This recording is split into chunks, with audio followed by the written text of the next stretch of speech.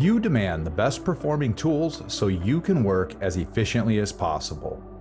SOLIDWORKS 2021 delivers multiple new enhancements to access your data faster and work more efficiently. Open times for both resolved and lightweight assemblies have been improved in SOLIDWORKS 2021. This 2259 component assembly opens in only 21 seconds making getting into your designs faster than ever. The larger the assembly, the greater the gains you will see while opening them in lightweight mode. To improve working with lightweight components, there is now also a more streamlined approach to accessing their assembly and feature information. Simply expanding a component from the Feature Manager tree will now dynamically load those components on demand giving you access to the fully resolved subassembly or part. This prevents unnecessary loading of large assemblies, but also allows you to quickly access and resolve the components you're working on as needed. Working with configurations in SOLIDWORKS 2021 is now also faster. Both switching between and creating new configurations are now significantly faster for assemblies.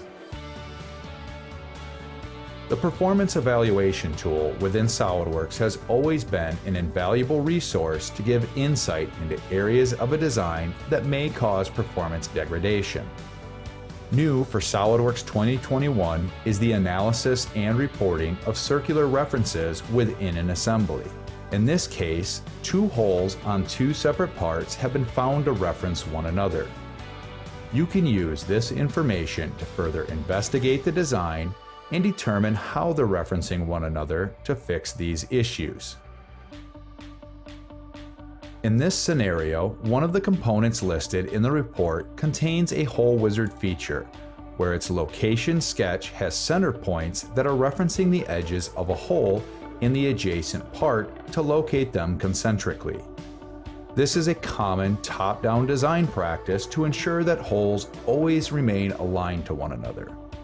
However, investigation of the second component's feature, also a hole wizard, it appears that the center points within this sketch are likewise referencing the edges of the previously interrogated holes.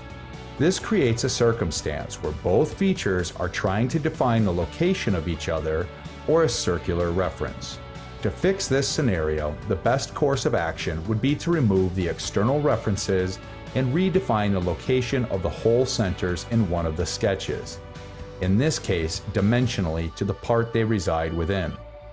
Once the changes have been made, a quick rebuild removes any warnings from the assembly.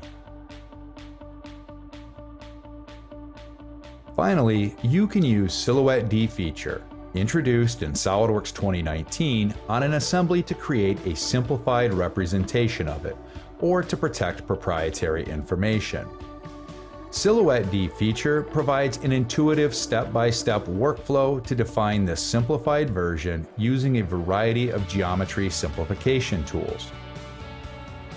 While you are selecting the components, bodies, or subassemblies you want to simplify, you will always have a side-by-side -side view to show what your finished representation will look like.